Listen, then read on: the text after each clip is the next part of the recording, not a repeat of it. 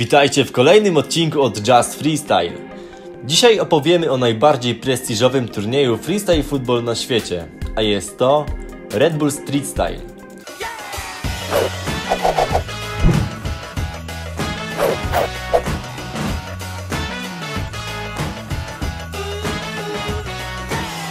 Red Bull Street Style są to Mistrzostwa Świata we freestylu sponsorowane przez popularnego energetyka.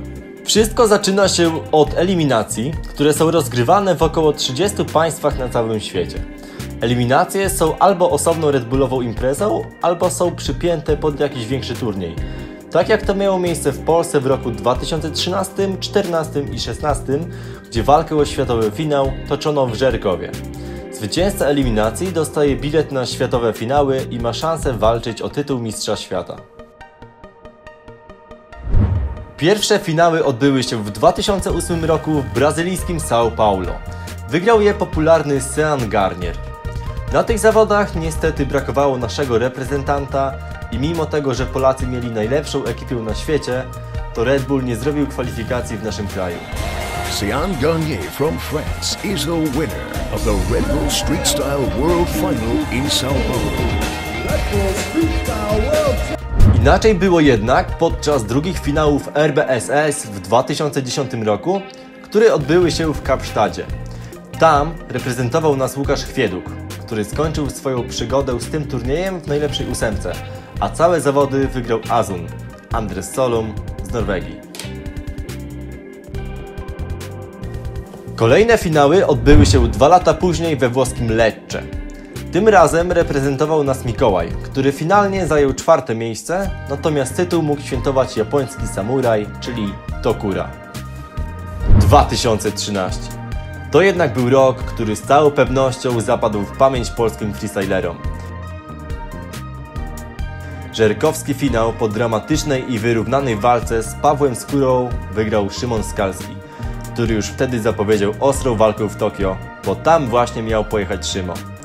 Przez wszystkie rundy przeszedł jak burza, nie dając szans rywalom i stał się pierwszym i póki co jedynym Polakiem z tytułem Mistrza Świata Red Bull Street Style. The winner is Shimon! Great work! Well done, Shimo. A deserved winner, a popular winner. You see he's joined on stage by his fellow freestylers. So there you have it. Shimo Skowski, the Red Bull Street Style World Champion for 2013. It's totally incredible. I'm, I'm still in shock. I don't know, I, I still didn't realize that I'm world champion. I think God is with me. It's, it's incredible.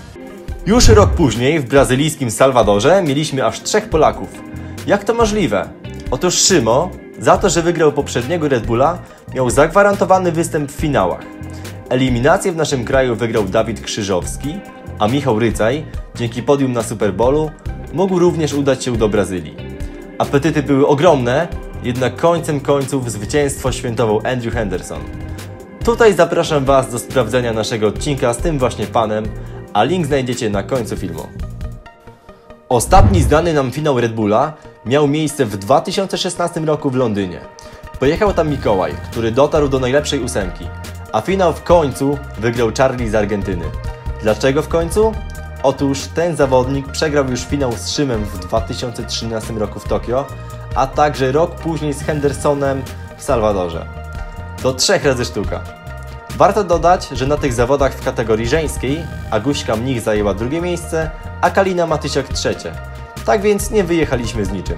Teraz kilka słów o zasadach tego turnieju. Sędziowanie. To jest temat bardzo kontrowersyjny. Działacze Red Bulla praktycznie co turniej zapraszają jakiegoś znanego piłkarza jako sędziego, który nie ma zielonego pojęcia o freestylu. Ale robią to oczywiście dlatego, aby podnieść prestiż zawodów i wywołać większe zainteresowanie. Andrew, Andrew. Two more judges to go. Another 50-50 draw. Andrew just gets it. Przykładem jest 2013 rok i podniesienie ręki Szyma jako zwycięzcy przez Marco Materazziego. Zrobił to od niechcenia przed tym, jak powinien to zrobić, co spowodowało nieco dzienne zdziwienie Szyma, a na dodatek zamiast profesjonalnie sędziować zawody, to niemal cały czas siedział w telefonie.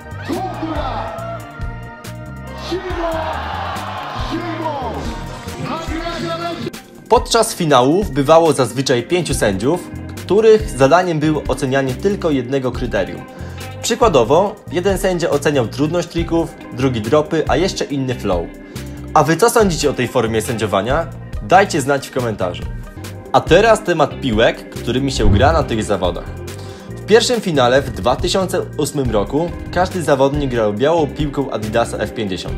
Natomiast od 2010 do 2013 roku zawody Red Bulla były rozgrywane piłką od Monty, gdzie każdy pojedynek był toczony jedną piłką. Wszystko zmieniło się od 2014 roku na dobre freestylerom. Od tego czasu każdy może grać już swoją piłką i przestało obowiązywać powiedzenie 3 minuty, dwóch zawodników i jedna piłka. Na koniec odcinka znakomita wiadomość. Red Bull oficjalnie ogłosił, że tegoroczne finały odbędą się w listopadzie w Polsce.